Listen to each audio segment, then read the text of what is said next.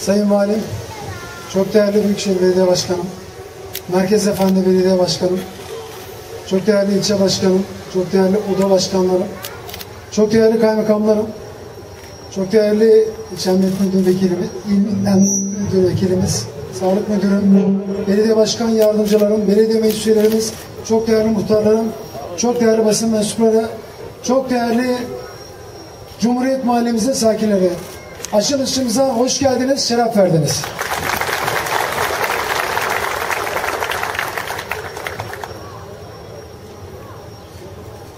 Sayın Bakanım, malumunuz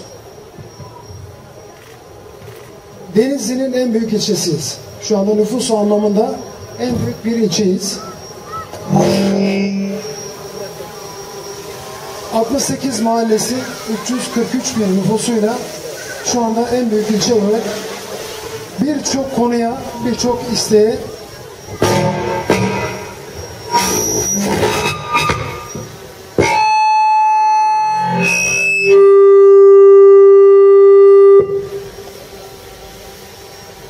Evet başlangıçta nazarlık diyelim artık. En büyük ilçe olmanın tabii bize yüklediği sorumluluklar var. Biz de bu çerçevede alanımızın çok geniş olması ve coğrafi koşulda çok zor olmasına rağmen bu 68 mahallede vatandaşlarımızın istek ve taleplerini bir bir değerlendirerek bunları yerine getirmeye çalışıyoruz. Evet Cumhuriyet mahallemizde bu mahalleye geldiğimizde en fazla 3 istek vardı Sayın Bakanım. Bu üç isteklerden, üç istekten bir tanesi de Sağlık Ocağı yeni ismiyle Aile Sağlık Merkezi'ydi. Diğerleri de üst yapı, üçüncüsü de kapalı bir pazar yeriydi. Biz bunların üçünü de gündemimize aldık. Birincisi olan, olmazsa olmazlarımız olan, her şeyin başı sağlık dediğimiz sağlık konusunda bu bölgede bir adım atalım istedik. Ve bu konuda sağlık alanı olan, şu anda yan tarafta olan bu binanın olduğu yere hisseli olmasına rağmen bunun üzerine çalıştık. Ve kısa bir zamanda bağışlar alınarak bağışlar alınarak bu binayı yapmak nasip oldu. Buna ilave ben şunu söylemek istiyorum. İnşallah yılbaşına kadar bu bölgenin üst yapısı tamamen bitirilecek. Kapalı pazar yerde en çok istek olanlardan ve şu anda vatandaşlarımızın da merakla beklediği bir konu.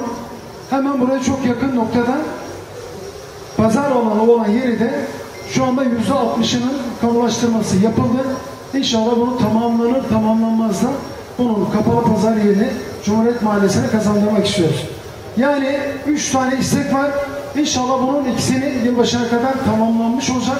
Bir tanesi de kamulaştırmanın yüzde yüz bittikten sonra bunu da hayata geçirmek istiyorum. Ben öncelikle bu binanın, bu sağlık tesisimizin yapımında emeği geçen herkese çok teşekkür ediyorum. Tabi bu noktaya gelirken Sayın Bakanım bağışlar vardı. Ben burada en büyük bağışı Müşerref Aktaş teyzemiz var 84 yaşında. Bu süreci başlatan e, kendilerine bize ilk bağışı yapılması noktasında destek vermesiyle bu süreci başlattık. Ve ilave yine aramızda olan 11 e, tane hayırseverimizin de bağışlarıyla 522 metrekare arsa üzerine 775 metrekare kapalı alanı olan çok şık bir sağlık ocağını ASM'mizi yaptık. Tabi onunla beraber başlamadan önce sağlık müdürümüzle o gün konuştuk. Bu bölgenin başka ne olabilir diye. Bir de 112 acil istasyon konusunda gerçekten ihtiyaç vardı. Ve bölgesel olarak sadece Cumhuriyet Mahallesi'ne değil, bölgesel ve yapmış olduğumuz hesaplamaya göre 100 bin kişinin faydalanacak olduğu bir 112 acil istasyonda yine aynı bina içinde birlikte hizmet vermesini planladık ve onu da hayata geçirdiğimiz için çok mutluyuz. Toplamda 1,5 milyona mal olan ve aynı anda 4 tane doktorumuzun hizmet verecek olduğu aile sağlık merkezimiz ve 112 acil sağlık istasyonumuz başta Cumhuriyet Mahallemize olmak üzere bölgeye hayırlı olmasını temenni ediyorum. İnşallah bu bölgede yaşayan insanlarımızın şifa, şifa bulmasına, aracı olmasını temenni ediyoruz. Biz sağlık konusunda Pamukkale Belediyesi olarak çok iddialıyız. Ve bunların da bugün biliyorsunuz birincisini şu anda inşallah hizmete alıyoruz. Daha büyüğünü ve bir ilke başar, başarmış olduğumuz birazdan da inşallah Dokuz Kavaklar mahallemizde olan yine bölgesel e, hatta denizle hitap edecek olan büyük bir sağlık tesisimizde inşallah sizlerle beraber hizmet alacağız.